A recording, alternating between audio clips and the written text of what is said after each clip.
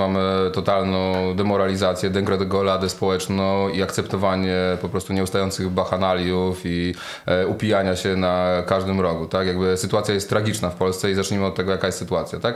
E, korporacje łamią prawo, reklamują alkohol, wódkę często dzieciom, alkohol jest dostępny na każdym rogu, jest e, za pół darmo, ceny tego alkoholu praktycznie nie wzrosły w ciągu ostatnich 20 lat, Polacy piją dużo więcej niż jeszcze w latach 90. pili, więc mamy sytuację naprawdę potężnej demoralizacji, postępującej demoralizacji e, społecznej i musimy coś z tą e, sytuacją zrobić, tak? E, I my przedstawiamy przede wszystkim badania naukowe, które stwierdzają fakt, tak? Każda ilość etanolu jest trucizną i każda jest toksyną, tak?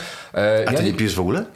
W zeszłym roku piłem, wypiłem alkohol kilka razy, a w tym roku mam postanowienie noworoczne. Zobaczymy, czy mi się uda, że faktycznie zostanę w pełni wolny od etanolu.